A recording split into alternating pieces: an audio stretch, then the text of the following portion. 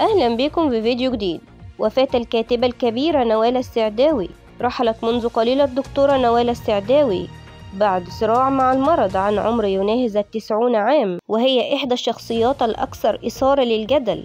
فهي أشهر من نادى بتحرير المرأة من قيودها ومن الجهر بالعصيان لما سمته المجتمع الذكوري. نوال السعداوي ولدت في 27 أكتوبر عام 1931 هي طبيبة وكاتبة روائية مصرية.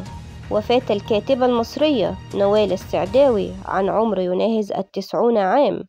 رحلت الدكتورة نوال السعداوي منذ قليل بعد صراع مع المرض عن عمر ناهز التسعون عام حيث تعرضت مؤخرا لأزمة صحية نقلت على أثرها إلى أحدى المستشفيات.